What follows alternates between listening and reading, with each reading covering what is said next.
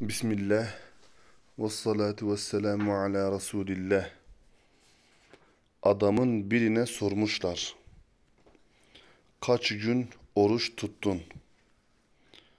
Hastalığım nedeniyle ancak bir gün tutabildim. Aynı soruyu bir Bektaşi'ye sorunca